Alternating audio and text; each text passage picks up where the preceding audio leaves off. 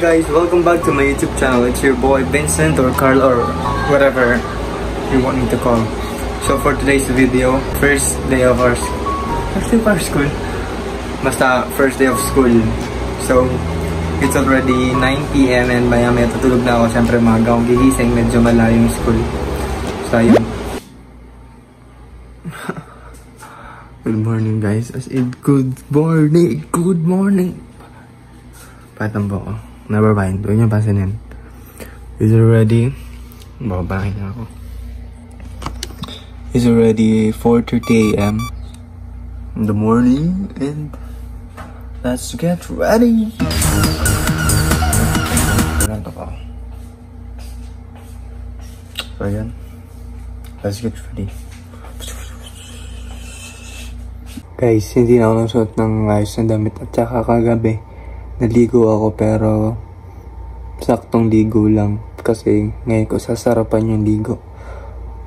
Basta.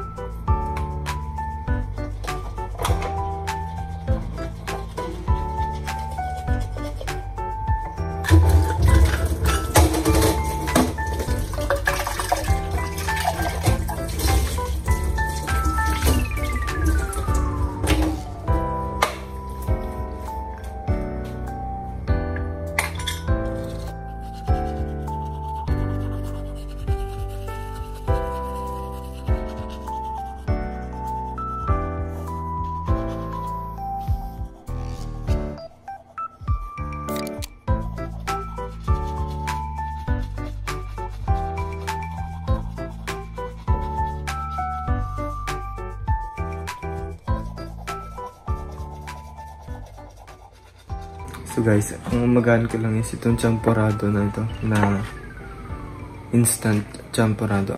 Pipirit akong spam, tsaka magbabaon din ako itong baban ko. So, let's go!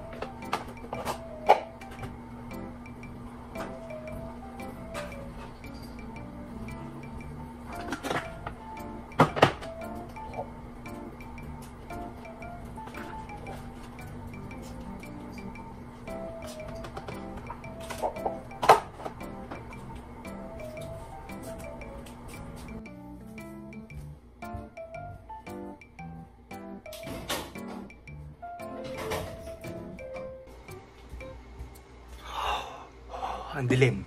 Wala ilaw. Wala ilaw, wala ilaw, wala ilaw. There you go. Let's go to go, go, go, go, go.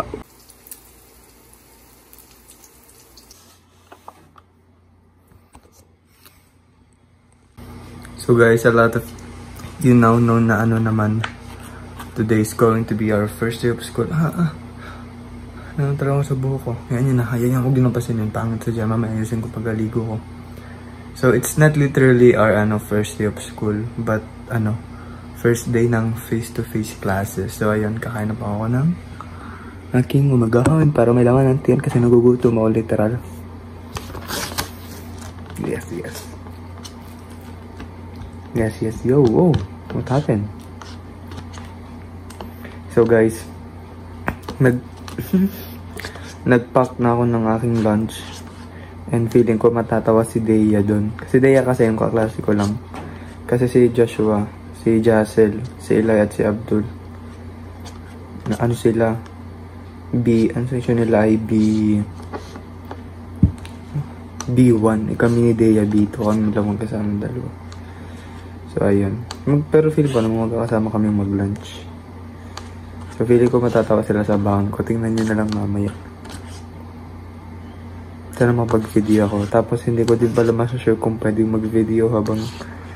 Pero feeling ko pag ano lang, bago magsimula ang klase,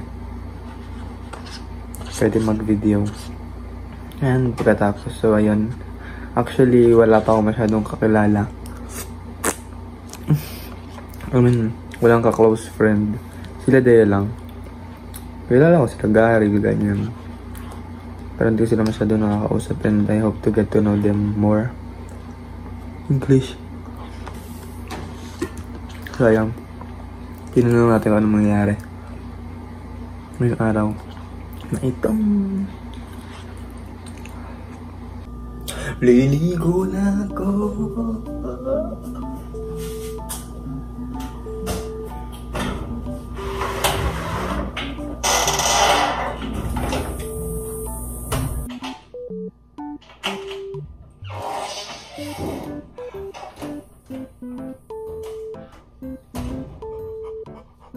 Aduh. Slight.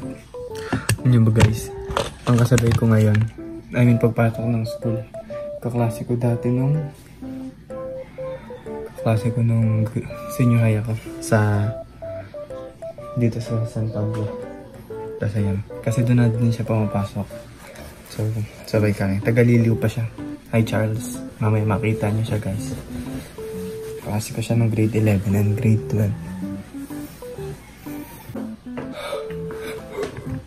Guys, excited ako na nilakabahan na ewan. So here's my fit. Nakita nyo naman na to, kaya okay na. Mamaya nyo lang makita ng overall. So ayun, I'm wearing the, I will be wearing this ano, white mask. So, dito ako. Alis na ako. Bye-bye. See you doon. Sa bus pala or sa tricycle kahit saan mo ako sasakay. Boy. Guys, ang dami kong dala. May T-square, may badminton racket, itong bag, tapos may mga triangles pa. Sobrang dami. Look. Hmm. Okay, yan. Bye-bye, guys. Sabi ko, gabi. Guys, sumakay na ako sa bus. Hindi ko na naintay si Charles. Ang tagal niya. Malilate na ako. Kasi sila Jassel nakapunta na. Eh, galing, galing si Jassel sa Lipa. Eh si Joshua naman taga dito din sa San Pablo. Nakapunta na din siya kanina. So ayun, sorry Charles.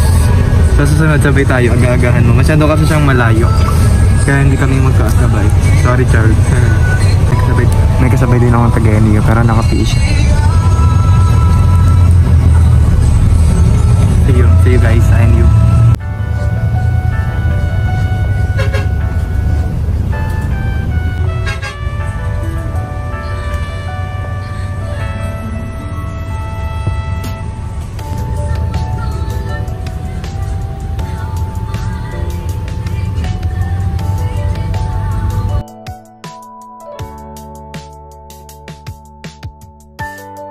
Nasa school na ako pero late na ako. Grabe. Wala ako. Tumagal ka, Justin. Hi! Tumagal ka, Gary. Hi po. Hello. late kasi ako kaya ako nahihiya.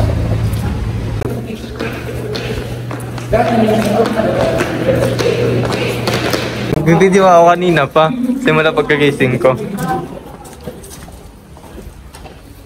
So, dito na ba ako sa room? Magay po kayo. Hi.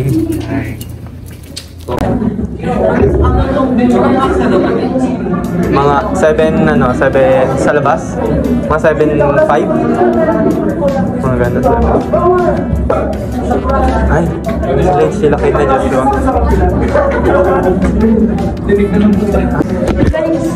Late na po si architect. Ang aming first subject is ano, visual techniques.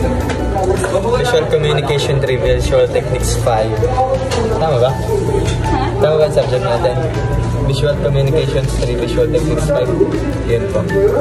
So, kahapon, ang pinagawa sa kanila, I mean yung A, yung section na A, is na street landscape, ganyan. So yun, nag-search ako sa Pinterest. So, is architect. Nakukuhit siya.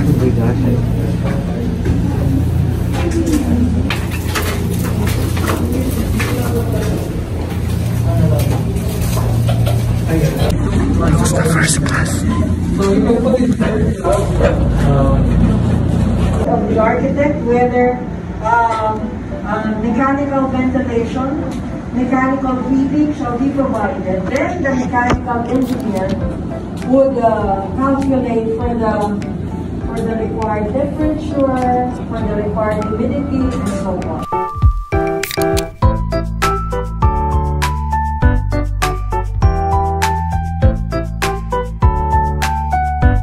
I'll see you all uh, next week for the asynchronous class.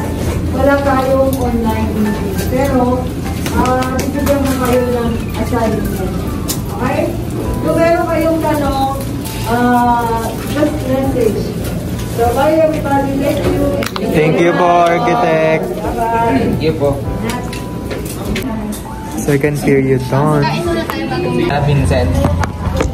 No, feeling, feeling ko ang unti ng dala mo. Tapos sa pang klase namin. And lunch na po namin. Tapos, may tea po kami mamaya last period. See ya. So guys. Wala guys lang. Hindi ko lang kung ano sasabihin ko. May lahar dito. Pero feeling ko hindi kasi dyan T-square. Kulang. Gawa na to ano, mga... Hindi kasi sa bag ko tong ano. Ito. Triangle. Next time sa envelope na lang din po ilalagay. Siya pang aming tour guide. Di po namin alam ang ibang parts. Part.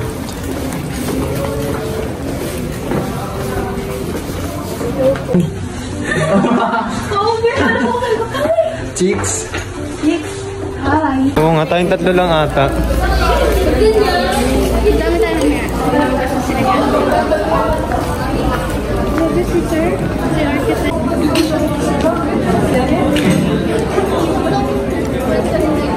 cafeteria kami. Ano kasi ni Jassel? Kasi ilan yung liit dito? Hindi, ang haba kasi ang damit ni Joshua. Parang ano parang Saan? Lunchbox. Pang lunch. Ideya. Ah, wala kang pagkain? Wala, wala na. Ubus lang. Basta doon, gulay na lang. Sa tapat ng school, may karinderya. Ito po ang aking kanin at ulam. One. You want to eat? Oh, no. Jassel, say ah, Jassel.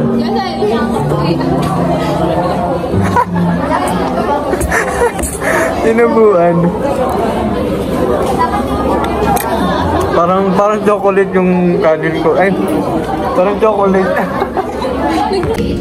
Grabe, libro to. Page ng libro.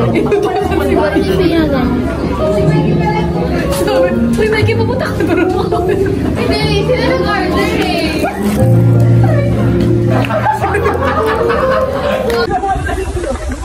Ang pangit talaga ng balat ko dito. Ikaw pala doon, iyak mo. Hindi naman. Hindi naman kita, Jassel. Free time po si Parang Joshua. Kala mo naman tunay na estudyante. Kala mo na may tunay na estudyante at aral na aral. Para sa kinabukasan ng taga San Pablo. Maghain po kayo.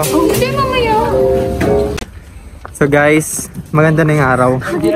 Nahirapan ako mag-vlog sa loob, nahiya ako. Bagong kaibigan. Bago po kaming, uh, asa, may, asa na siya? Yan, si Joseph. Ito si Joseph. Hashtag badminton boy. Hashtag pinakamagaling. And hashtag pinakamatalino. And hashtag sa lahat. Joseph. Siya po ay pumasok dati sa St. Joseph. Kaya pa eh, Joseph.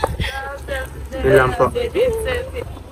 Asking my friends, what is the hardest subject in architecture second year edition? Ano, design. Kasi? Kasi, Joke lang. What's the hardest subject on architect? Design. Ikaw? Ano? Design. Sa'yo? Design. Design. What's the hardest subject in architecture? Tech. BT? Ay, oo. Ano? Building utilities. Ah, building utilities. What's the hardest subject in architecture? Ikaw, Daya. BT. Ah, BT. Sa akin po, wala po sa akin mahirap na subject kasi matalino ako. Tatanong sa'yo. What is the hardest subject in architecture? Wala po, matalino kasi ako. Lahat ng mga plates na yan, sisiw yan. Mga, binigyan kami ng 3 hours, mga 2 hours, natatapos ko na agad. Ganun ako, galing. Hindi mo siya nagpasa kanina. Natatain na po ako.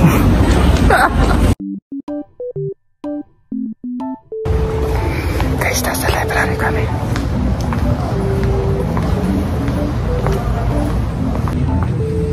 So, ayan po.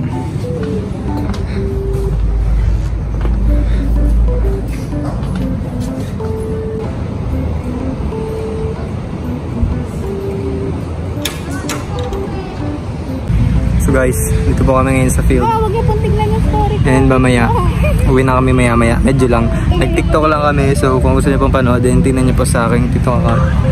And ayun, magandang ilaw pag nakataas yung camera. Pero pag nakababa, Ito kayo lahat? pangit ko kitang eye bags.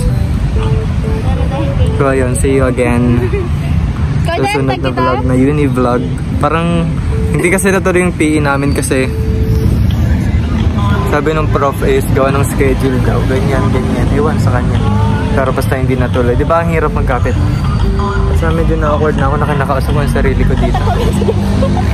Tumitingin na sa akin si Jasil eh. Dito sa ano?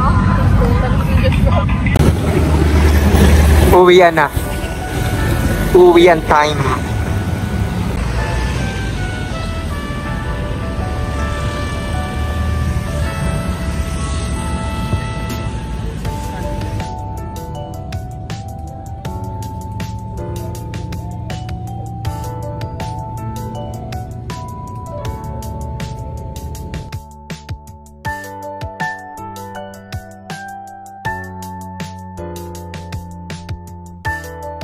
So guys, naglalakad na ako ngayon. Nakababa na ako ng bus.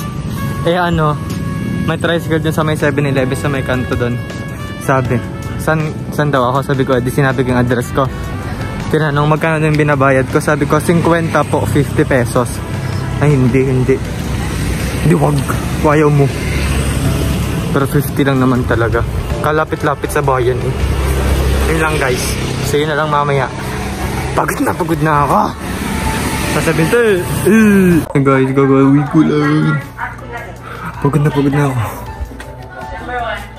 Kapagod. So, I'm going to end the video here na kasi pagod na pagod na ako. Magpapahinga na ako and kakain and bili na naman mamaya. Natutulog. Kita-kita nyo naman yung eyebags ko. Polo, ano, puyat. And pagod. So, thank you for watching guys. Hope you guys like this video. Kung gusto nyo, click like, share. Mag-comment kayo kung anong gusto nyo comment and subscribe. Bye-bye!